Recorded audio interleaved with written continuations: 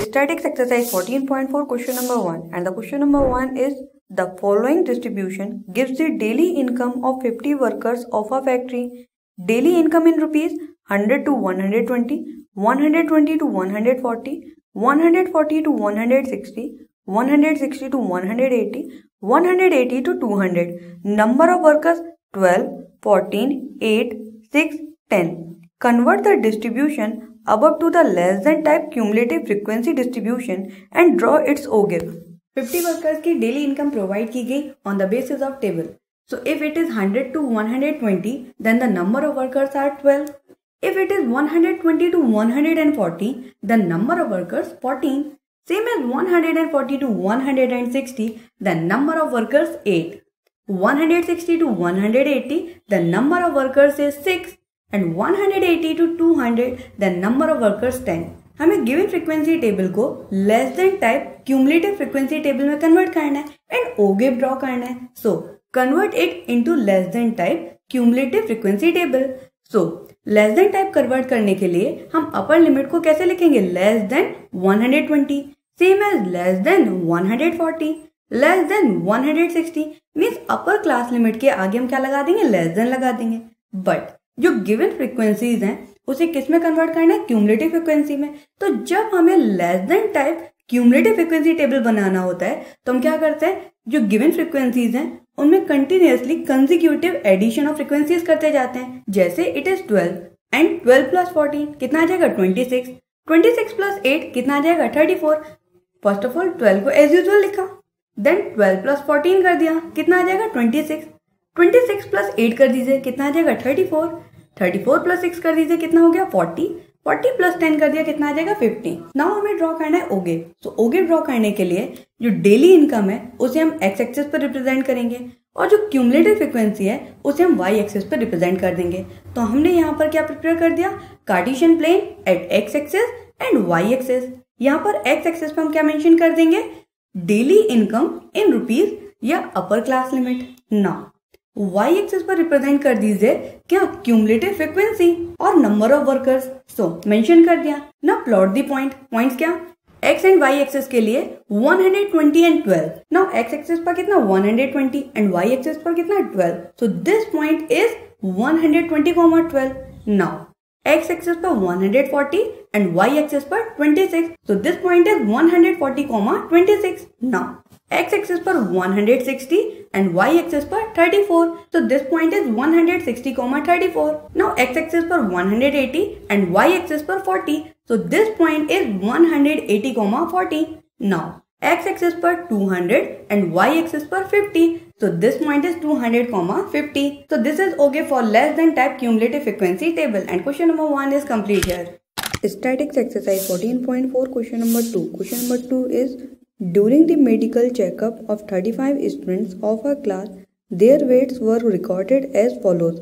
Weight in kilogram, less than 38, less than 40, less than 42, less than 44, less than 46, less than 48, less than 50, less than 52. Number of students 0, 3, 5, 9, 14, 28, 32, 35. Draw a less than type OGIF for the given data Hence obtain the median weight from the graph. Verify the result by using the formula. 35 students के medical checkup की report के basis पर weight of students हमें provide किया गया and this is a less than type cumulative frequency table जो कि हमें ऑलरेडी गिवन की गई। हमें फाइंड आउट करना है ओगिव एंड मीडियन तो ओगिव ड्रॉ करने के लिए हम एक्स एक्सेस पर क्या ले लेंगे? वेट इन किलोग्राम और upper class limit and y axes पर हम कितना ले लेंगे? Number of student in cumulative frequency now this is x axes this is y axes x axes पर हम वेट इन किलोग्राम्स और अपर क्लास लिमिट ले लेंगे. एंड वाई एक्सेस पर हम नंबर ऑफ़ स्टूडेंट यानी कि क्यूमलेटिव फ्रिक्वेंसी लिख देंगे. Now plot this point so the first point is thirty eight comma zero so it is thirty eight comma zero second point is forty comma three and this point is forty comma three and this point is forty two comma five same as this point is forty four comma nine and this point is forty six comma fourteen and this point is forty eight comma twenty eight and this point is 50 comma 32 and this point is 52 comma 35 so this is required okay for less than type cumulative frequency table number of students कितने 35 n upon 2 is equal to आ जाएगा 17.5 सो graph paper पे हम ए point mark करेंगे जिसका ordinate कितना है seventeen point five now x axis पर इसकी वैल्यू कितनी आ जाएगी forty six point five so this a point इसका एबेसिसा कितना है forty six point five and ordinate कितना आ गया? सेवनटीन पॉइंट फाइव तो abscissa is the median means median की वैल्यू कितनी आ जाएगी? Forty six point five now according to ogive median is forty six point five check करते हैं कि क्या टेबल के बेसिस पे भी median forty six point five आएगा? So Weight in kilogram upper class limit. So these are 38 to 40, 40 to 42, 42 to 44, 44 to 46, 46 to 48, 48 to 50 and 50 to 52. So less than type cumulative frequency table को हमने general frequency table में convert कर दिया. So these are class intervals. Now frequency find out करेंगे किससे cumulative frequency से कैसे find out करते हैं फ़र्स्ट क्लास इंटरवल की फ्रीक्वेंसी एज यूजल रहेगी बट सेकेंड क्लास इंटरवल की फ्रीक्वेंसी निकालने के लिए क्यूमुलेटिव फ्रीक्वेंसी में से अब वाली फ्रीक्वेंसी टेबल माइनस कर दीजिए। तो three minus zero is equal to कितना आ जाएगा? Three same as next class interval की फ्रीक्वेंसी निकालने के लिए हम क्या करेंगे? Five minus three and it is equal to two यानी क्यूमुलेटिव फ्रीक्वेंसी बिलो वाली में से अपर वाली माइनस करते जाएँगे तो क्या आ जाएगी? फ्रीक्वेंसी आ जाएगी। Equal to four fourteen minus nine is equal to five twenty eight minus fourteen is equal to fourteen thirty two minus twenty eight is equal to four and thirty five minus thirty two is equal to three overall कितने student हैं? Thirty five now cumulative frequency just greater than n upon two mean thirty five upon two mean seventeen point five यानी कि seventeen point five से just greater than कौन सी फ्रीक्वेंसी है? Fourteen के बाद यहाँ पर आएगा।